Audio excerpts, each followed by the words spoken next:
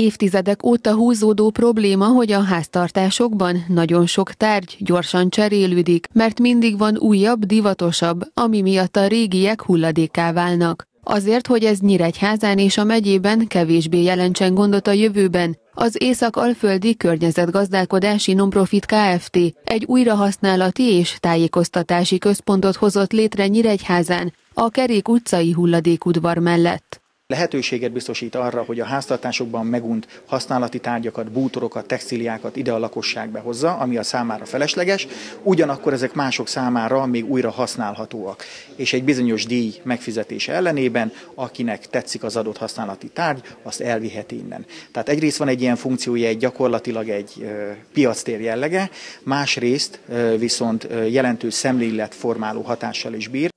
Ennek megfelelően a falakon található grafikonok bemutatják a hulladék keletkezését, valamint segítenek azok megfelelő elhelyezésében. Az átvételre szánt termékek esetében fontos szempont, hogy jó állapotúak legyenek, hiszen a cél az, hogy azokat mások a rendeltetésük szerint használják tovább konyhai eszközöktől kezdve bútorokig, szőnyegekig, táskákig, plüssállatokig, könyvekig mindent, amit nem tudunk befogadni és nem itt kezeljük, azok a elektromos hálózatból működő eszközök, tehát ezen kívül mindent tudunk itt újra használatra felajánlani, hogy így mondjam.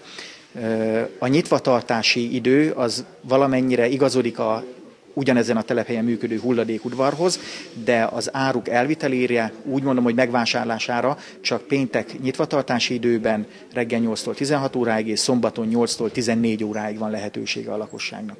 Éberhard Gábor hozzátette, az újrahasználati és tájékoztatási központot nem csak a nyíregyháziak, hanem szabolcs már Bereg megye minden lakosa igénybe veheti.